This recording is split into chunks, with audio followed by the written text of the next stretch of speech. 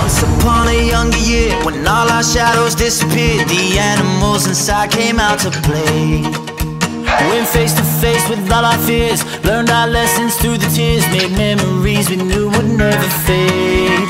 One day my father, he told me, son, don't let it slip away. He took me in his arms, I heard him say,